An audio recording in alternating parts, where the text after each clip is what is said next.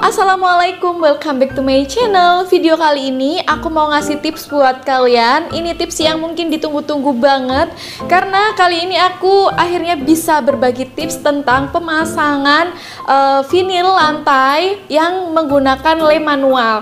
Karena kebanyakan vinil lantai yang menggunakan lem bawaan itu Daya rekatnya itu nggak bisa bertahan lama. Dan kali ini aku juga bakal review vinil apa sih yang aku pakai Dan jenisnya apa apa, tebalnya berapa, lemnya juga apa, dan juga yang pasti cara pemasangannya itu gimana sih kalau kita ngelem vinilnya itu secara manual.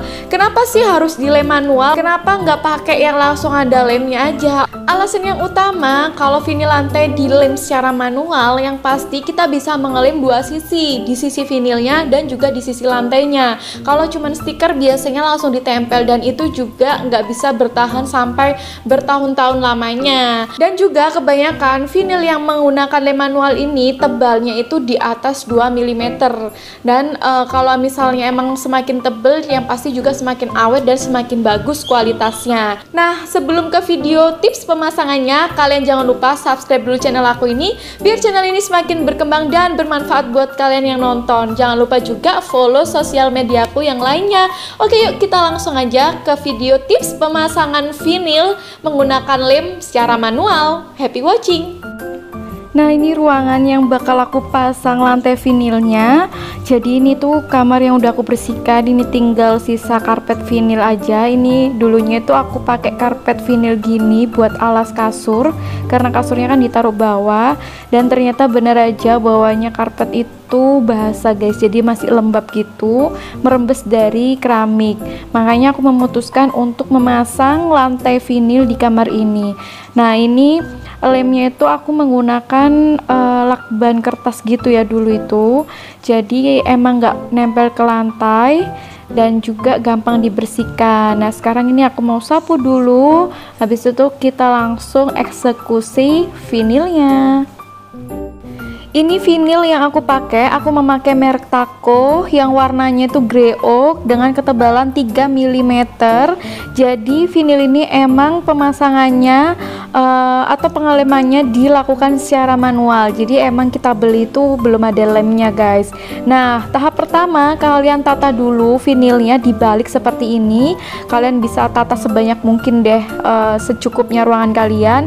Ini aku nata 4 baris aja atau 4 kolom, terus aku langsung tuang lem aku menggunakan lem kuning yang merek Fox kalian bisa gunakan lem merek apa aja yang pasti kalian gunakan lem kuning. Terus kalian ratakan menggunakan KP plastik seperti ini sampai merata. Setelah merata kalian bisa diamkan dulu 5-10 menit sambil kalian mengelem bagian lantainya. Nah ini tuh sama ya prosesnya sama kayak pengeleman vinil. Jadi kita juga lem lantainya biar daya rekatnya tuh lebih kuat Nah, untuk pemasangannya kalian tinggal tempel aja sih seperti vinil biasanya. Uh, jangan lupa kalian juga uh, ukur untuk tengah-tengah vinilnya biar motifnya itu seperti bata disusun gitu ya.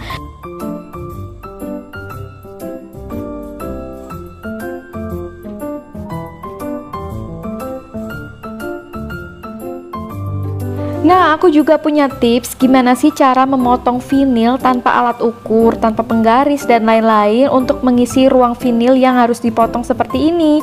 Caranya, kalian letakkan vinil secara terbalik seperti ini di ruang yang kosong tadi. Kemudian, kalian tumpuk vinil yang baru seperti ini, di mana vinil yang paling atas harus sejajar dengan vinil yang paling bawah yang sudah merekat di lantai ya. Kemudian kalian potong sisanya seperti ini. Nah itu udah aku potong terus kita tinggal uh, tekuk aja Nah, kita tinggal lipat seperti ini dia sudah motong secara otomatis. Terus kita cutter deh, gampang banget kan? Dijamin cara ini tuh lebih presisi dibanding kalian menggunakan penggaris atau alat ukur. Nah, ini dia hasilnya. Langsung pas banget masuk ke ruangan yang kosong tadi kan. Nah, cara ini tuh bisa diterapkan untuk mengisi ruangan-ruangan atau titik-titik yang masih kosong nih. Biasanya kan harus dipotong kecil-kecil. Kalian bisa menggunakan cara ini. Nah, untuk uh, menentukan titik tengah vinil baru kalian menggunakan penggaris gitu. Untuk sisanya kalian bisa gunakan untuk mengukur vinil yang lainnya.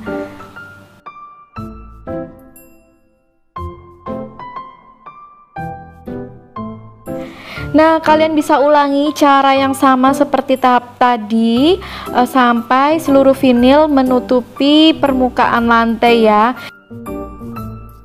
Nah, untuk pemotongan ruang yang ini juga aku tetap menggunakan yang cara tadi. Jadi aku balik vinilnya, aku susun tumpuk lagi menggunakan vinil atasnya, terus aku cutter seperti ini. Jadi uh, dijamin nanti hasilnya tuh lebih presisi. Nah kan sisanya udah ketemu kita tinggal potong aja lalu tinggal kita tempel hasil pemotongannya.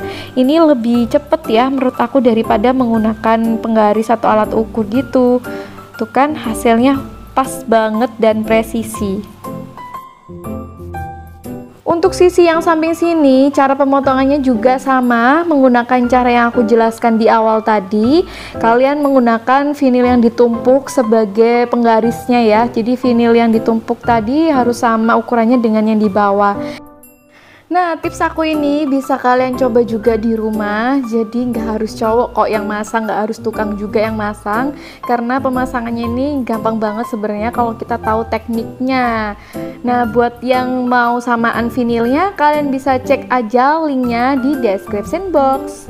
Dan ini dia hasil setelah aku pasang. Ini hasil keseluruhan lantai setelah tertutupi oleh vinil. Kenapa sih aku memilih lantai vinil dari brand Taco? Karena dia mempunyai keunggulan tahan air, tahan gores, anti rayap, tidak licin, tahan lama, perawatannya mudah, pemasangannya juga mudah dan cepat. Selain mempercantik ruangan, lantai vinil ini juga menciptakan suasana natural seperti lantai kayu parket tetapi dengan produk yang lebih tahan lama, anti rayap, tidak lapuk, dan tidak perlu ditreating. Ruangan juga terlihat bersih dan luas, tidak ada garis nat antara plank dan lantai vinil, serta aman juga buat anak-anak karena gampang dibersihkan.